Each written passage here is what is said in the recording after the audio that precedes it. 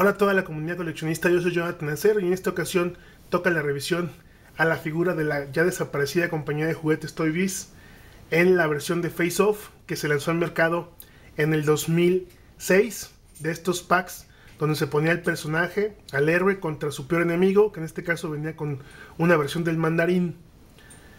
Esta figura de Iron Man que pues no es de las más buscadas o las más cotizadas, pero es sí es una figura que hace diferencia en una colección.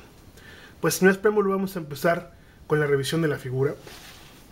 Vamos a ver cuál es su tamaño. Ok, vamos a ponerla en su posición para que esté bien erguida o bien erecta. Ok, esta figura tiene un tamaño un poco menor a los 15 centímetros, un par de milímetros menos para llegar a los 15 centímetros. Y quizá eso se debe a que la posición de la figura en la espalda alta es un poquito encorvada. Bueno, como accesorios trae estos como cañones. Me falta uno, esta figura para los que siguen los videos de las cacerías.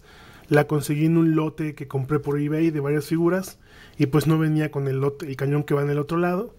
Pero bueno, no es nada que uno no pueda mandar a hacer con alguno de los compañeros que hacen esculpidos.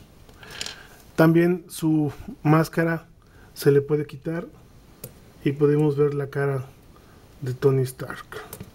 Vamos a quitarle la máscara.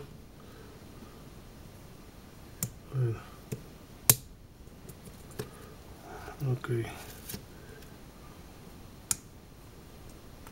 Ahí está. Ahí está, le quitamos la máscara y podemos ver el rostro de Tony Stark. Ahí bien, bien esculpido, bien hecho. Pues bueno amigos, vamos a ver las articulaciones. Su eh, cuello tiene una articulación que le permite moverse. Eh, el cuello es lo que se mueve, la, la máscara no. La máscara se puede hacer un poco hacia arriba y se puede hacer un poco hacia abajo. Sus hombros giran 360 y se pueden hacer hasta ahí. El bíceps tiene 360.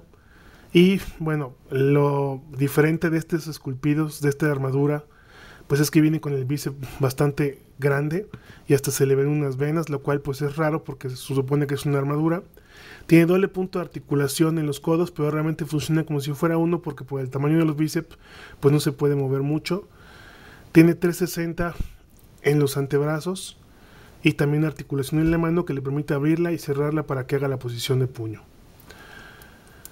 Su eh, torso se puede hacer hacia abajo, se puede poner a su lugar y se puede hacer hacia arriba, vean. Su cintura gira a los 360 grados. Se puede abrir de piernas.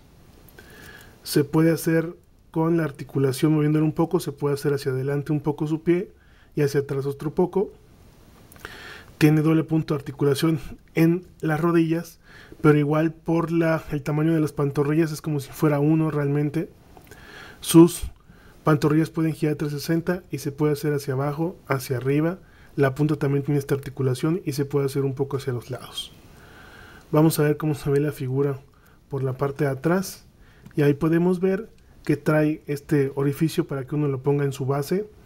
Y bueno, ponerla, poderla posar con la base y con pues lo que trae para que uno pueda poner bien la figura. Pues como pueden ver es una figura un poco más baja de lo normal. Sin embargo, es una figura, repito, que hace diferencia en una colección.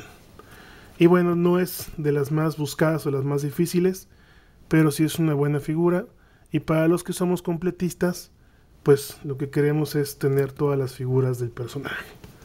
Pues aquí eh, la otra mano tiene eh, articulación eh, en esta de esta forma y bueno tiene, la, tiene los dedos un poco como entreabiertos lo cual permite pues, que la figura se vea diferente. Pues bueno amigos, yo espero que la revisión les haya gustado y sobre todo los anime a hacerse de esta figura. Como siempre, les mando lo mejor de las vibras y que tengan ustedes muy felices colecciones.